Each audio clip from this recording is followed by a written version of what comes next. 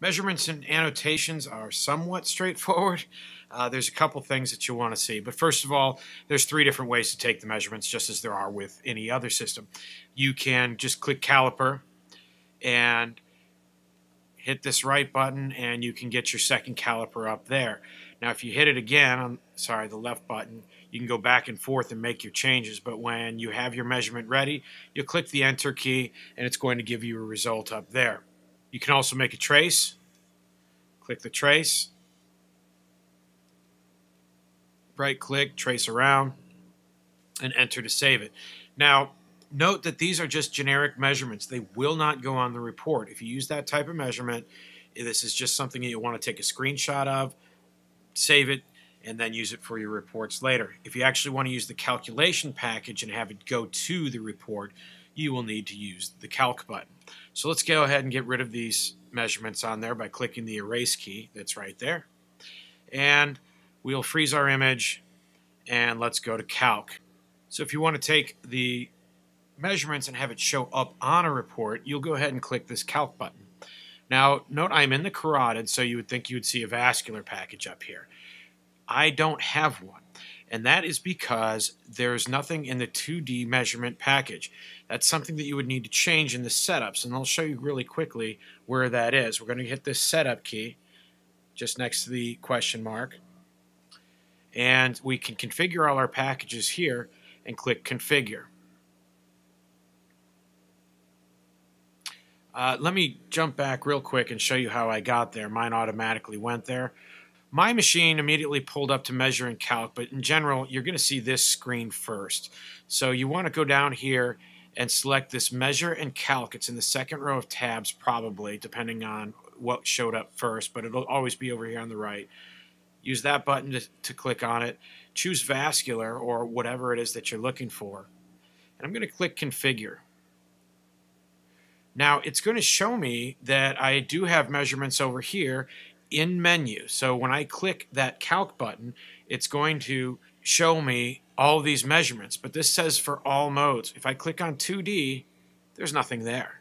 And that's because I would need to select some over here and push them over whatever is I want to do. IMT, for example. Okay.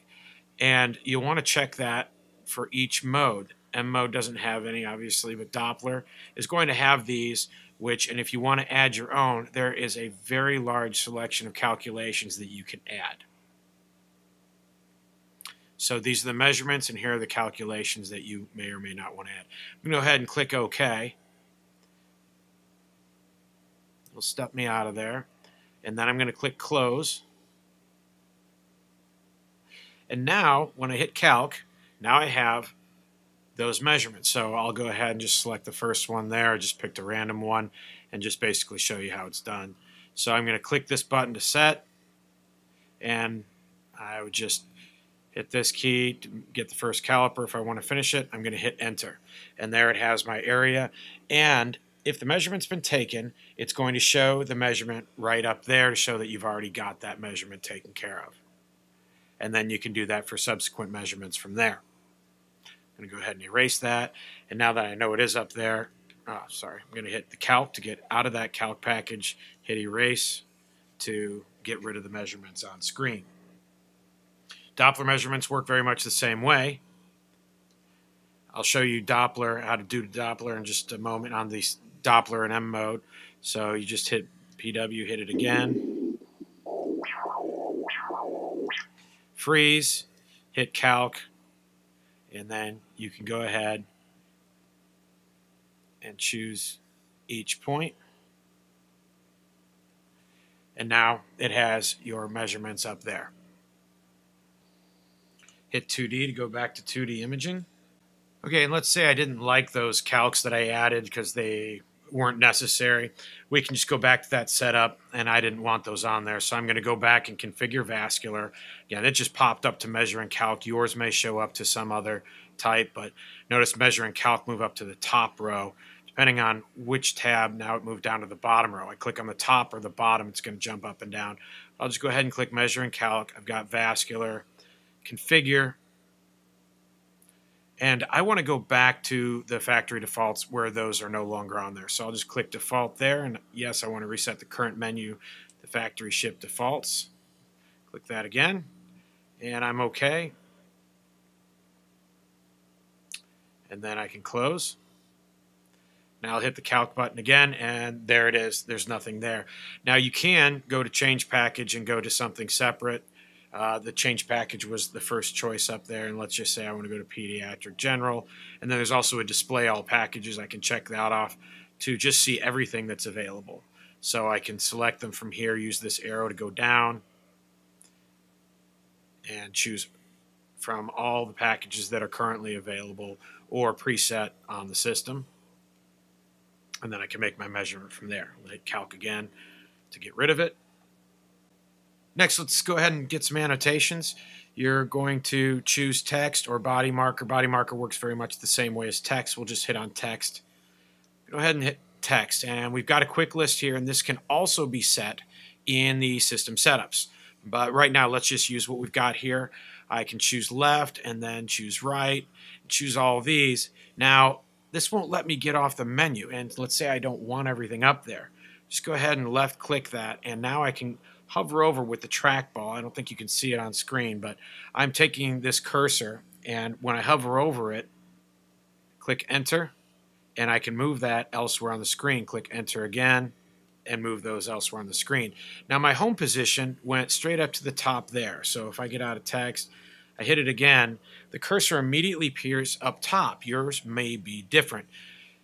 If you want to change that and have it go someplace else, I'm going to go ahead and left click and move my cursor. If you can see it, I've moved it over here. I have to hit this next key and I can hit the set home. And if I push that down, every time I hit text, let me get out of it. I'm going to erase my text. I hit the text key, and now my cursor appears there in the middle. If I want to go back to the factory default down here, I'm going to push this button down, and boom, there it is. Now I'll go out of text, hit it again, and now that is my home. So also note down here we have carotid, vascular, and we also have an arrow. I can click on this here. If I push this down, this button here, I can get an arrow move it around. I can also twist and rotate that arrow. Click enter, and now I can still move those.